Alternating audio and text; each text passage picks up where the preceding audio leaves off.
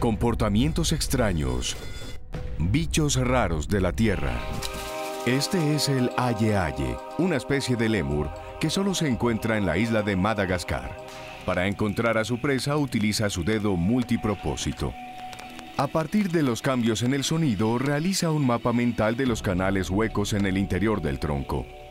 Usa sus orejas para captar la más mínima vibración que pueda significar algo de alimento, como una larva. Perfora incisiones a través de la corteza. Y su huesudo dedo cambia su función de escáner a espátula. El ayeaye lo encierra y el dedo se transforma en un gancho. Es arrastrada, extraída y puesta dentro de la boca del ayeaye. Cuando se trata de capturar presas, el camaleón pantera tiene un arsenal de herramientas a su disposición. Cada ojo funciona de manera independiente y puede girar 180 grados para detectar presas a pocos metros de distancia. Se mueve a más de 1600 kilómetros por hora. La lengua se desenrolla casi medio metro para alcanzar la lejana rama. El pangolín no es muy feroz. Ni siquiera tiene dientes, pero tiene dos herramientas formidables. En primer lugar, sus garras son enormes. Es la retroexcavadora de la naturaleza. Puede extraer rocas y romper la más dura tierra seca. Y cuando destroza las paredes de la colonia de hormigas, se lanza de cabeza. Su segunda e inusual herramienta es una larga lengua pegajosa que desliza a través de todas las grietas y hendiduras. Continuamente lubricada por la hiperactividad de las glándulas salivales, la lengua recoge miles de hormigas en un día. Procedente del noroeste del Pacífico, el tritón de piel rugosa es un cliente difícil. Busca pequeños invertebrados que deambulan por su territorio en la ribera de los ríos. Pequeñas glándulas en su piel albergan bacterias mortales. Producen tetrodotoxina, un veneno letal que paraliza los músculos deteniendo el diafragma y el corazón.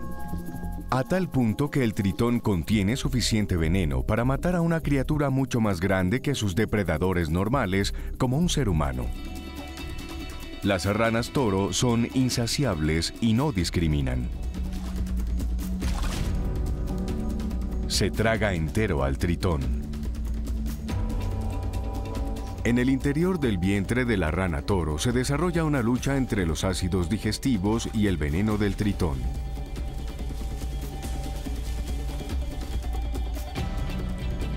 La rana se desploma y muere. El tritón sale y finalmente regresa a casa. El lagarto cornudo es un reptil demoledor con una extraña estrategia de defensa. Se alimenta especialmente de hormigas rojas, pero no tiene ningún método de caza sofisticado. Las hormigas tratan de defenderse, pero sus mandíbulas son de poca utilidad contra las escamas del lagarto. Sin embargo, un coyote es una historia diferente, y es entonces cuando el lagarto despliega su rara defensa. Dispara su propia versión del aerosol de pimienta. Delgados vasos sanguíneos alrededor de los ojos se rompen debido a la presión y la sangre fluye como un chorro hacia su atacante. Además de ser algo repulsivo, la sangre contiene elementos químicos repelentes de perros. Disgustado y extrañado, el coyote huye. La rata topo lampiña, para ser precisos, no es topo ni rata. Y mucho acerca de su comportamiento es extraño. Pasan todas sus vidas en la casi total oscuridad, tejiendo su camino a través de una red subterránea de cuevas y túneles. Dentro de su oscuro universo han desarrollado una sociedad rígida. Tienen más en común con hormigas o abejas que con el típico círculo social de los mamíferos. En la cima hay una larga y fuerte reina.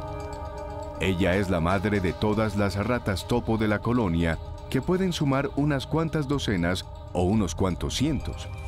Algunas ratas topo son recluidas como soldados para proteger la colonia de ratas topo rivales y de otros depredadores. Las demás ratas topo atienden a los jóvenes, limpian, cavan túneles y buscan alimento. Ir hacia atrás o hacia adelante es igual.